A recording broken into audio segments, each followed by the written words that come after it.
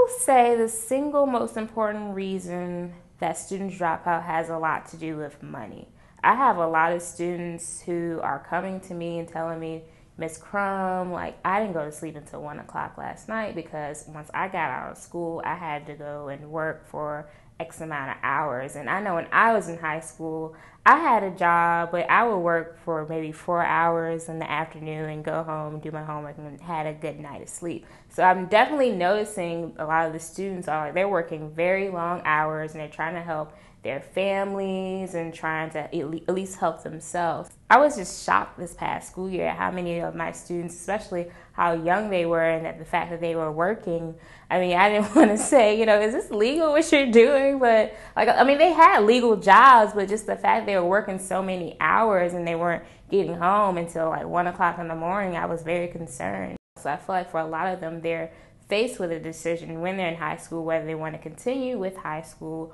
or they just want to drop out and just focus on you know making money and being able to provide for themselves as well as for their families and a lot of them aren't able to understand the long-term benefits of being in school i mean i know that yeah they're, they're struggling right now but if they continue to stay in school and work really hard it'll definitely help them out at least when they graduate and they become adults and they can be able to provide for themselves as well as for their families